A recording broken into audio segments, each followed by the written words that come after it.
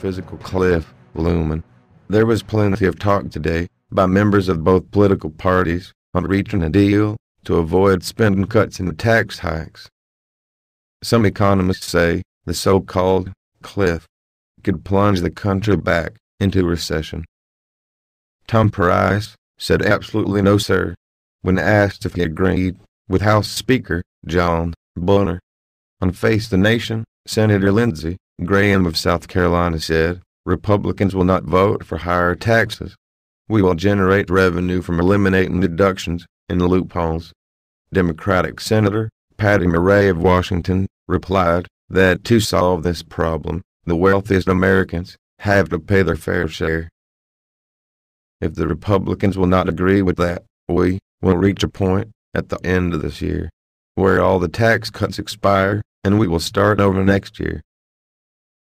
The sticking point to solve the standoff is what the president calls a balanced approach of spending cuts and increased revenues.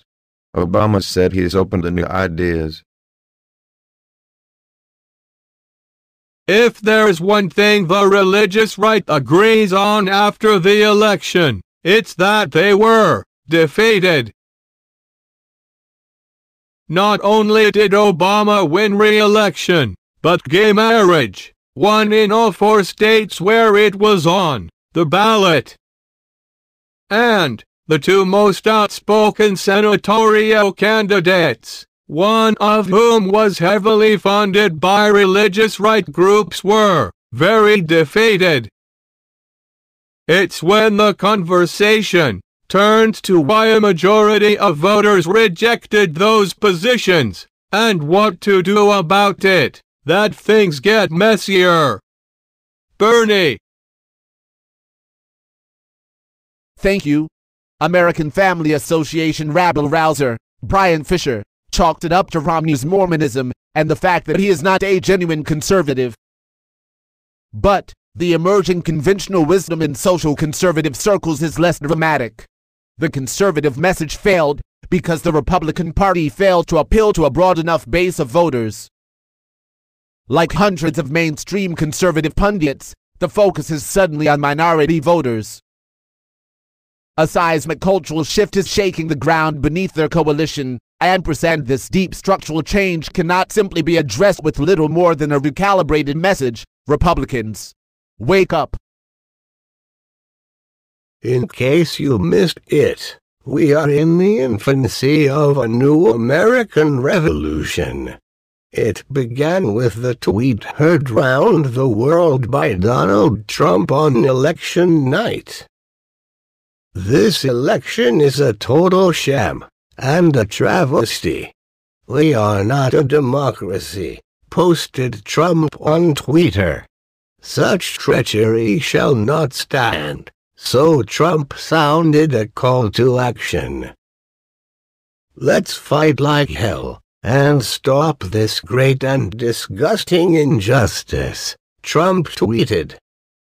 Trump couched his call for an uprising on the imagined fact that Republican candidate Mitt Romney lost, while getting more overall votes than Obama, which wasn't true. The enemy Trump is referring to must include the 95% of black voters and 71% of Hispanic voters who proved America is not a democracy by voting against the billionaire's preferred candidate. NBC's Brian Williams called out Donald Trump for being an arrogant blowhard during NBC's election coverage.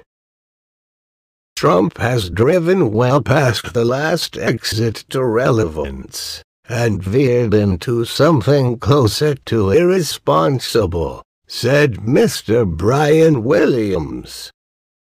Trump has now deleted some of the election night's tirade, including tweets calling for revolution, and incorrectly saying that Obama had lost the popular vote. In a recent tweet, Trump now says the election was the Republicans to win, but that Mr. Romney had not connected with the people.